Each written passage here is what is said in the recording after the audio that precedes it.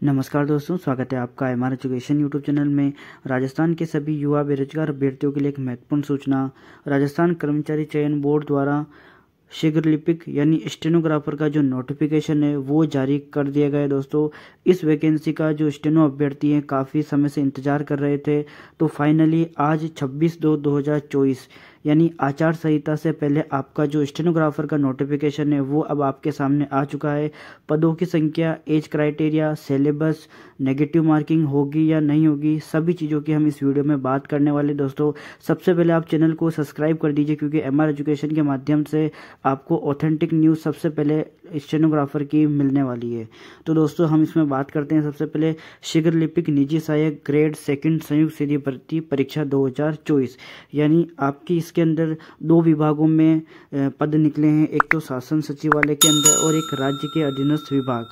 तो आपकी जो पदों की संख्या देख सकते हैं, टोटल चार पदों पर इस भर्ती का नोटिफिकेशन निकाला गया है, जो स्टेनोग्राफर भर्ती के हिसाब से काफ़ी ज़्यादा होते हैं, काफ़ी सफिशिएंट पद इस बार इसके अंदर निकाले गए हैं। तो हम सारी चीज़ों की बात कर लेते हैं। सबसे पहले मैं आपको बता दूँ कि जो शासन सचिवालय के पद, वो इसके अंदर एक सौ चौरानवे पद इसमें रखे गए जो पिछली वाली वैकेंसी में भी इतने पद आपको देखने को नहीं मिले थे। तो आपके पास 2024 के अंदर बहुत सुनहरा मौका रहने वाला है। आगे हम बात कर लेते हैं दोस्तों। मैंने आपको बता दिया चार सौ चौहत्तर पद है और सबसे गोल्डन चांस शासन सचिवालय के अंदर आपके एक सौ चौरानवे पद इसमें रखे गए तो आगे बात कर लेते हैं ऑनलाइन आवेदन की प्रक्रिया। आप इसके अंदर देख सकेंगे। और इसके अंदर जो एज क्राइटेरिया क्या रहने वाला है, पदों का विवरण। तो देख सकते हैं दोस्तों शीघ्र लिपिक निजी सहायक ग्रेड सेकंड में रिक्त पदों का वर्गवार आरक्षण किस प्रकार से है? तो सामान्य सामान्य के लिए इसके अंदर जो पद है, छप्पन रखे गए हैं और बाकी जो क्राइटेरिया जो अनुसूचित जाति, अनुसूचित जनजाति ओबीसी एसटी एससी बाकी सबके हिसाब से आप इसके अंदर स्क्रीनशॉट लेके आप अपने कैटेगरी के हिसाब से अपने पद देख सकते हैं। ठीक है दोस्तों, आगे हम बात कर लेते हैं। कि इसके अंदर जो एग्ज़ाम पैटर्न किस प्रकार से रहेगा सिलेबस क्या आने वाला है नेगेटिव मार्किंग रहेगी या नहीं रहेगी, और काफ़ी समय से लगभग पाँच से छः महीने पहले ही आपको एमआर एजुकेशन के माध्यम से मैंने आपको ये सूचना दे दी थी कि आपका जो नोटिफिकेशन है स्टेनोग्राफर भर्ती का नोटिफिकेशन आपको फरवरी माह में देखने को मिलेगा। वैसा ही हुआ दोस्तों, आपका जो नोटिफिकेशन है, जो एम आर एजुकेशन के माध्यम से जुड़े हैं, वो पाँच से छः महीने से पहले से तैयारी करने लग गए होंगे। तो दोस्तों, आप देख सकते हैं कि इसके अंदर जो ग्रेड ग्रेड पे क्या रहता है और आपकी इसके अंदर सैलरी क्या रहती है। तो छत्तीस ग्रेड पे की नौकरी है दोस्तों ये। छत्तीस ग्रेड पे की नौकरी इसके अंदर आपका लगभग प्रोविज़न के बाद आपका पचास हज़ार वेतन आपका इसके अंदर जा जाने वाला है। और सचिवालय के अंदर तो दोस्तों, आपका वेतन काफ़ी अच्छा रहने वाला है, बहुत पावरफुल पोस्ट इसके अंदर आपको मिलती है। निजी सहायक इस वैकेंसी के, अगर इस वैकेंसी के बारे में आप जानते नहीं हैं तो आप हमारे चैनल पर देख सकते हैं, सारी वीडियो आपको इस वैकेंसी के माध्यम से मिल जाएगी। तो अगली बात हम बात कर लेते हैं दोस्तों आयु सीमा आयु सीमा इसमें अट्ठारह से चालीस वर्ष इसके अंदर रखी गई है। तो अगर आप 18 से ऊपर हैं तो इस वैकेंसी के अंदर आवेदन कर सकते हैं और बाकी जो आरक्षण के वो कैटेगरी होती है, उसमें आपको छूट मिलने वाली है पाँच वर्ष की एस टी वालों को ओबीसी वालों को, जो सभी एग्ज़ामों के अंदर मिलती है। तो आगे हम बात कर लेते हैं दोस्तों, क्या इसके अंदर क्राइटेरिया क्या रहने वाला है? आवेदन आपके इसमें स्टार्ट हो जाएँगे। अगली बात इसके अंदर देख लेते हैं कि जो आपके ऑनलाइन आवेदन है मतलब आपका जो इसमें योग्यता है, वो क्या रहने वाली है? योग्यता आपकी इसके अंदर ट्वेल्थ पास रहने वाली है और आपके पास एक आरएससीआईटी का डिप्लोमा होना चाहिए। अगली बात, सबसे महत्वपूर्ण बात इसमें जो परीक्षा की स्कीम क्या रहने वाली है? बिल्कुल वीडियो स्किप मत कीजिएगा दोस्तों। इसमें स्कीम क्या रहने वाली है वो देख लीजिए। शीघ्र लिपिक निजी सहायक ग्रेड सेकंड पदों पर भर्ती हेतु परीक्षा की स्कीम क्या रहने वाली है? तो सबसे पहले आपका परीक्षा की स्कीम हम इसमें देख लेते हैं।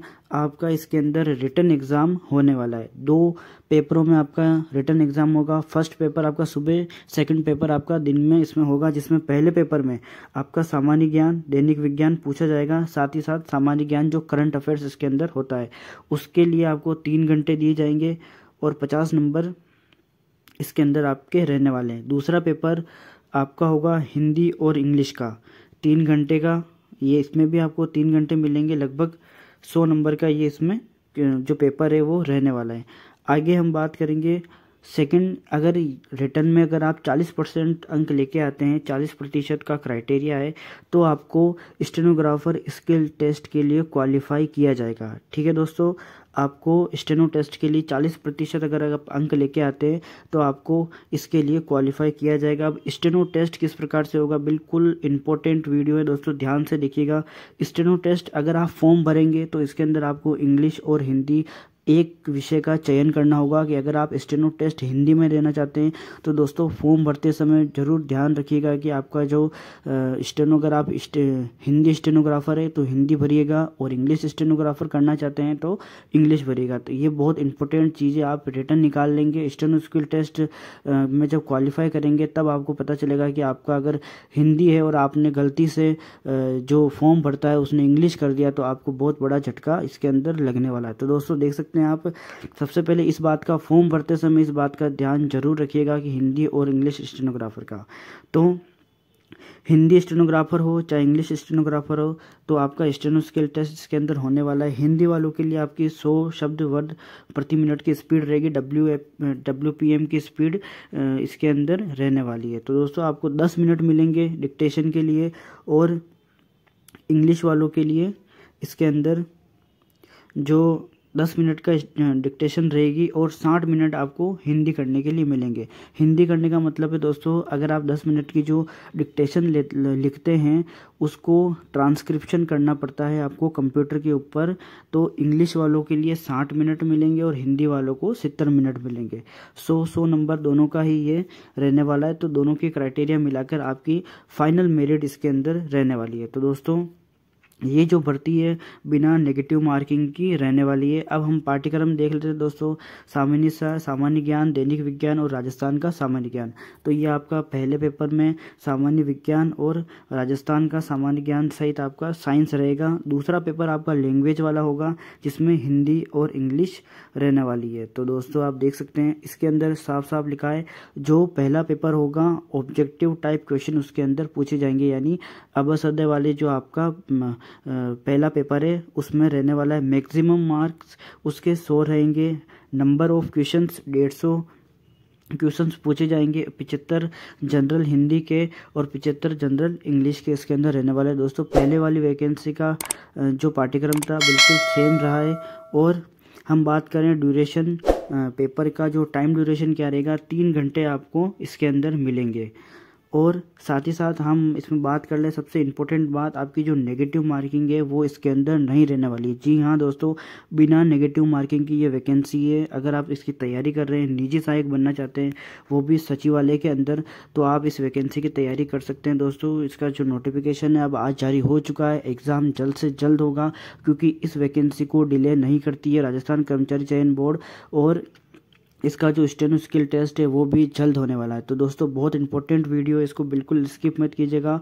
और मैंने आपको इसमें सारी डिटेल्स दे दी है। अगर इसमें आपको कोई भी कन्फ्यूज़न है तो वीडियो के कमेंट बॉक्स में कमेंट कीजिए। और स्टेनोग्राफर के बारे में आप और जानकारी जानना चाहते हैं, विभाग के बारे में, और बाकी जो चीज़ें इसके अंदर रहती है स्टेनो किस प्रकार से सीखनी होती है, क्या स्पीड लानी होती है तो सब कुछ वीडियो आपको हमारे चैनल के माध्यम से मिलेगा। आप चैनल पर जाइए प्ले में जाइए R S M S S stenographer की एक नाम की प्लेलिस्ट बनी हुई है। उसके अंदर आपको सारे वीडियो मिल जाएँगे।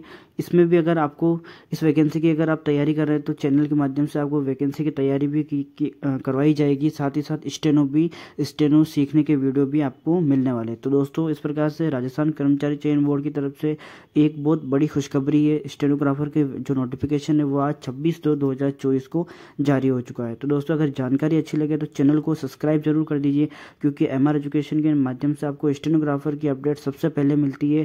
पहले भी मैंने आपको बताया वीडियो में कि जो इसकी नोटिफिकेशन की न्यूज़ है, मैंने आपको पाँच से छः महीने पहले ही दे दी थी कि जो आपका नोटिफिकेशन है वो फरवरी माह में देखने को मिलेगा। तो आपके सामने दोस्तों आपका जो नोटिफिकेशन है, वो बिल्कुल फरवरी माह के अंदर देखने को मिला। तो दोस्तों इस प्रकार से लेटेस्ट अपडेट सबसे पहले पाने के लिए चैनल को सब्सक्राइब ज़रूर कर दीजिए और वीडियो अच्छा लगा तो वीडियो को लाइक ज़रूर कीजिए। धन्यवाद दोस्तों।